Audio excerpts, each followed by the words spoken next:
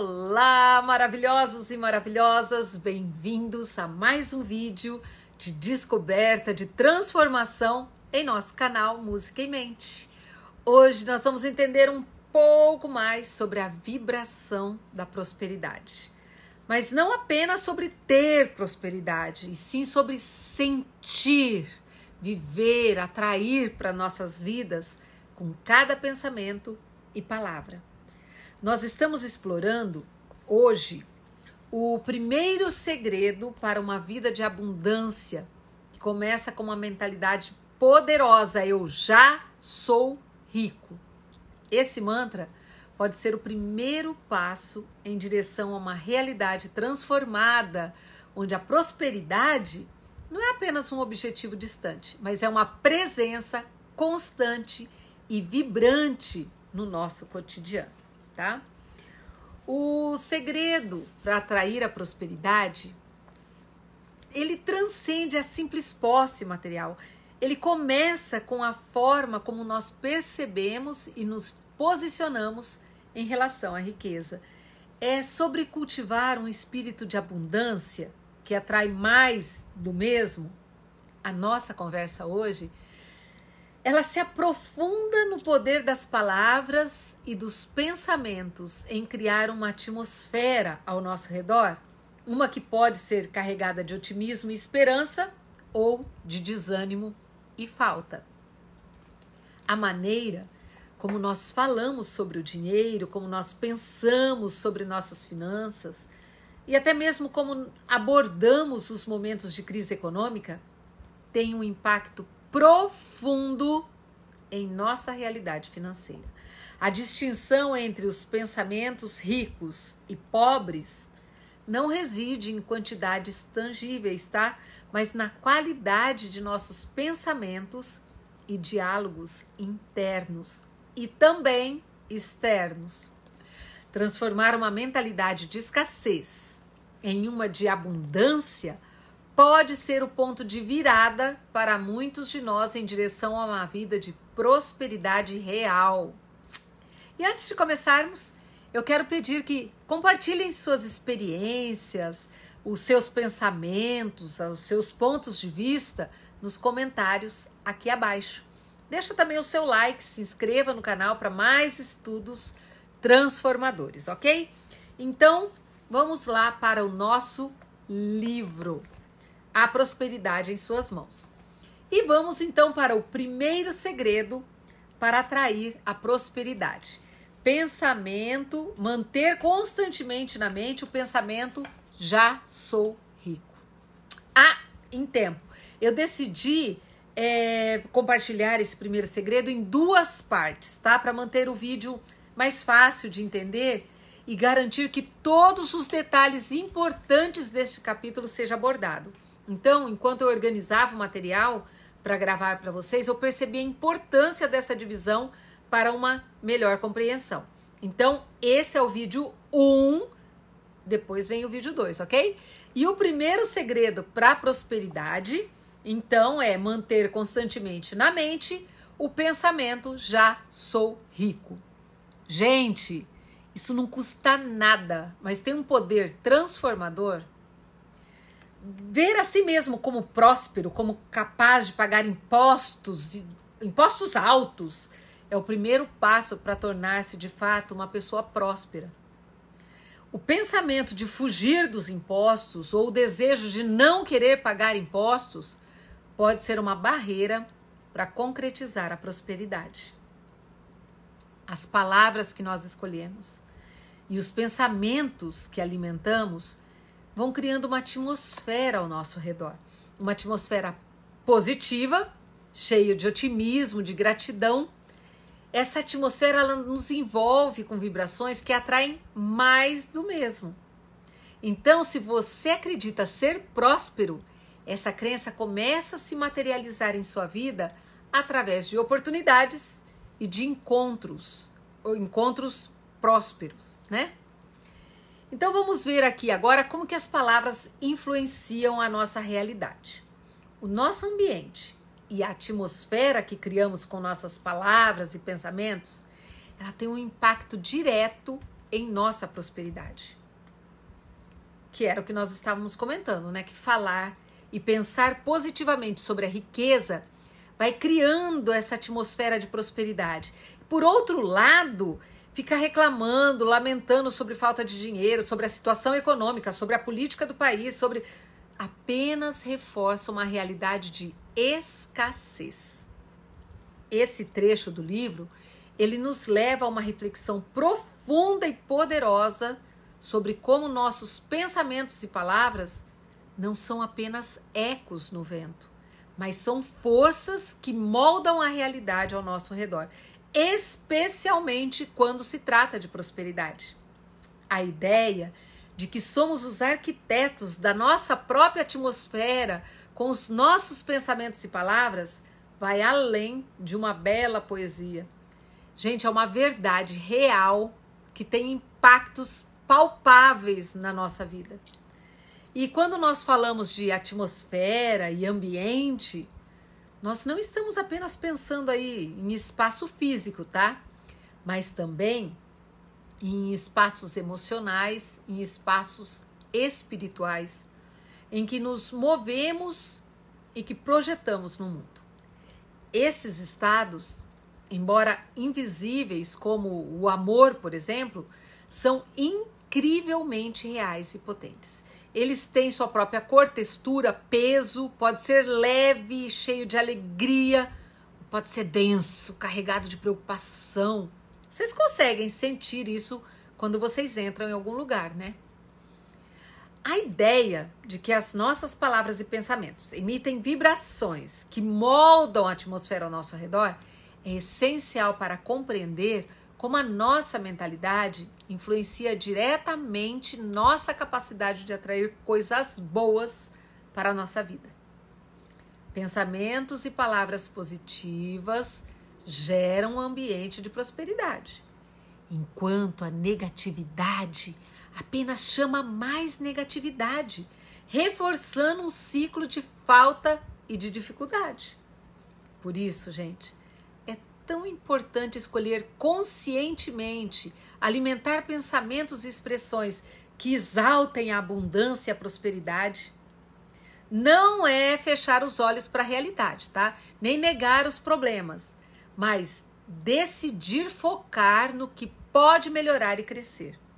Então, mesmo em tempos difíceis, como durante uma crise econômica, nós podemos optar por ver a situação como passageira e como assim um prefácio para dias melhores, que e, e nos preparar para agarrar oportunidades que surgirão com a recuperação da economia, tá?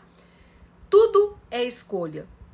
Então, escolher falar e pensar em prosperidade, mesmo em pequenos gestos né, do dia a dia, cria uma força que atrai para nós situações, pessoas e oportunidades que estão na mesma vibração. Né? Então, vão trazer é, pessoas e oportunidades que estão nesse mesmo estado de espírito. A vida de cada um é profundamente influenciada pela atmosfera que criamos. Um ambiente de otimismo e riqueza pode abrir portas, enquanto um de pessimismo e escassez pode fechar portas. Adotar essa forma de atrair prosperidade é uma prática ativa de escolher como nos relacionamos com o mundo e como interpretamos nossas experiências. É um convite à responsabilidade pessoal pelo nosso bem-estar emocional e financeiro. E aí nós reconhecemos o imenso poder que nós temos de formar a nossa realidade por meio da atenção consciente ao que pensamos e falamos. Ok? Bom, vamos falar um pouquinho aí agora sobre a distinção entre pensamento rico e pensamento pobre. A diferença fundamental entre ricos e pobres reside no modo como pensam sobre o dinheiro. Enquanto os ricos vê o dinheiro como uma ferramenta para criar mais riqueza, os pobres frequentemente focam na falta de dinheiro. Mudar a mentalidade de escassez para uma mentalidade de abundância, gente, é essencial. E esse, esse trecho aí do livro, ele nos leva a uma reflexão bem poderosa sobre algo que realmente faz a diferença na nossa relação com dinheiro e sucesso. A maneira como pensamos sobre eles. Não é tanto, gente, questão de como, como que a gente se veste, como que a gente anda, mas sim de como nossa mente trabalha quando o assunto é finanças e prosperidade. As pessoas que veem a riqueza em suas vidas geralmente olham para o dinheiro que têm e imaginam como podem fazer ele crescer. Elas estão sempre bolando planos aí, estão sempre pensando, arquitetando para aumentar suas fortunas, seja investindo em negócios, aplicando no mercado financeiro ou procurando novas oportunidades, né? E essa mentalidade não só direciona suas ações, mas também cria um tipo de campo magnético ao redor delas, atraindo mais sucesso e mais riqueza. Se você conversa com uma pessoa próspera, as suas conversas e pensamentos vão girar sempre ao redor de possibilidades financeiras. Não é de uma maneira obsessiva, tá? Mas é como um caminho para conquistas maiores e contribuições significativas para o mundo. Mas, por outro lado, quem vive pensando na falta de dinheiro acaba preso em uma mentalidade de escassez. Tudo que essas pessoas conversam ou pensam gira em torno de não ter dinheiro suficiente para as necessidades básicas ou para realizar um sonho, um desejo, né? Essa visão limitada cria uma realidade onde dificuldades financeiras e as barreiras são mais frequentes. Até mesmo umas coisas simples, como o uso de um caderninho de dívida, acaba reforçando essa sensação de nunca ter o, o dinheiro suficiente, tá? Mas o bacana é que nossa mentalidade e o clima que nós criamos ao nosso redor são não são imutáveis, desculpa. Com um pouco de esforço consciente, nós podemos mudar o foco de pensamento que nós temos e mudar também o nosso tipo de conversa. Então, ao invés da gente ficar reclamando, lamentando pelo que está faltando, nós podemos começar a olhar para as possibilidades de crescimento, não importa a situação em que estamos, tá? Essa mudança não ignora os desafios, mas nos encoraja a olhar para o que temos de abundante e as oportunidades que existem. A ideia de que nós somos influenciados pelo nosso ambiente e situações, mas que também temos o poder de influenciar esse ambiente com os nossos pensamentos, é, um, é assim, é uma ideia realmente transformadora, né? Nossa personalidade, que é construída a partir de experiências, pensamentos e sentimentos, reflete nossa mentalidade interna.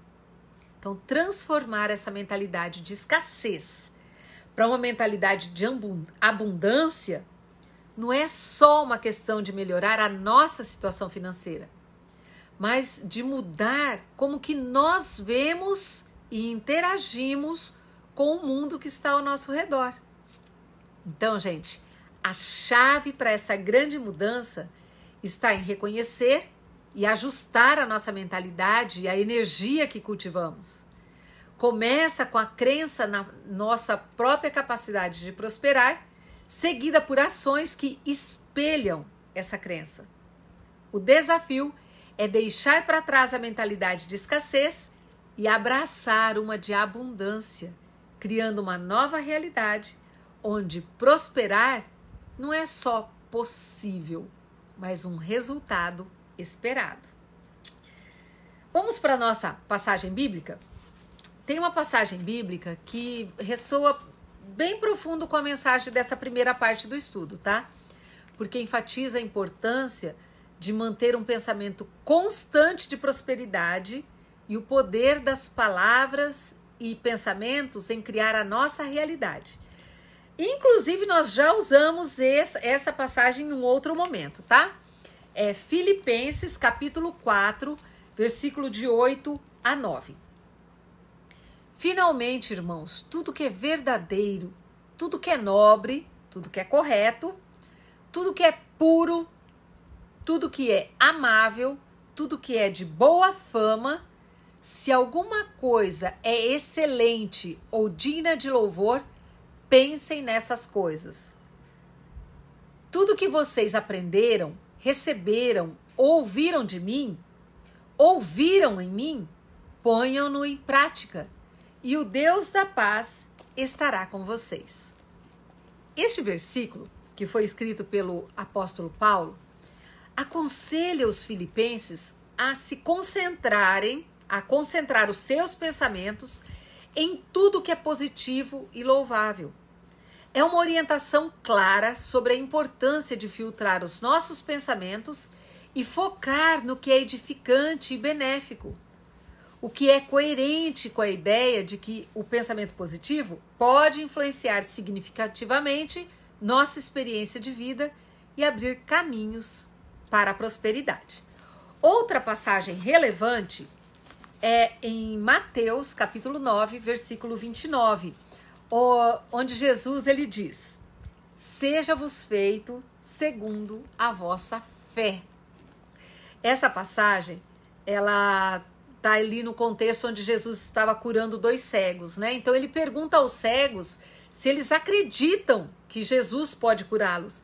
E eles respondem afir afirmativamente. E então Jesus diz que acontecerá conforme a fé deles, e seus olhos são abertos. Essa passagem, ela está mostrando a importância da fé e da crença positiva. A expectativa e a crença em um resultado positivo. Nesse caso, a cura, né? É, essa expectativa desempenha um papel importantíssimo na manifestação do resultado.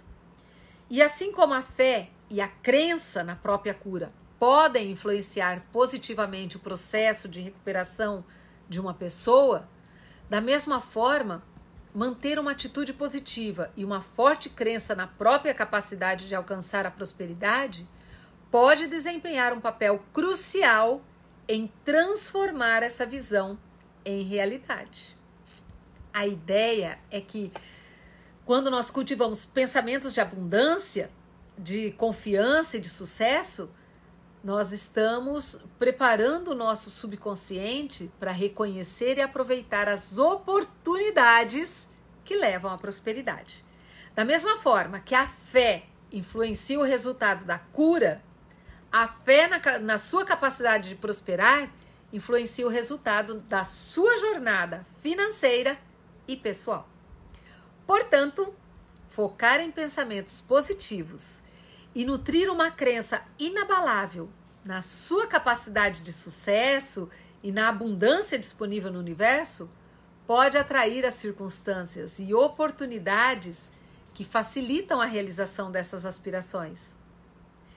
E assim, da mesma forma, é, como a fé dos cegos permitiu que eles recebessem a sua visão, a sua fé na prosperidade pode abrir os caminhos para alcançá-la, ilustrando o poder do pensamento positivo e da expectativa otimista na moldagem, na forma como nós construímos a nossa realidade. Ok?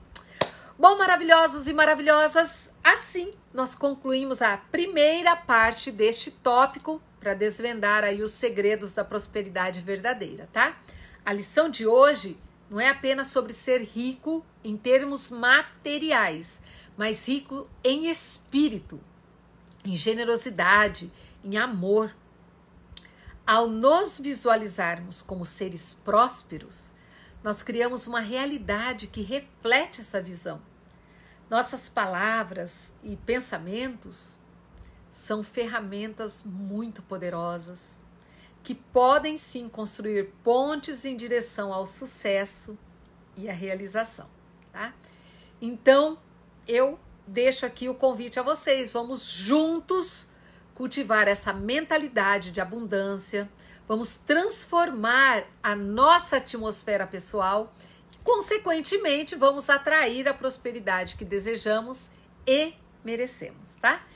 Então, vamos lá. Compartilhe aqui as suas experiências, seus pensamentos nos comentários abaixo. E se esse vídeo ressoou com você, não esqueça, tá? Curte aqui, comenta, se inscreve no canal para mais conteúdos transformadores. Então, até o próximo vídeo e lembrem-se, a prosperidade começa dentro de nós. Muito obrigada.